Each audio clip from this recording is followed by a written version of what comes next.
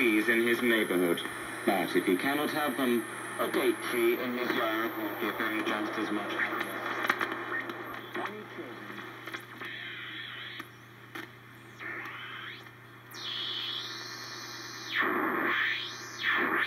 Thank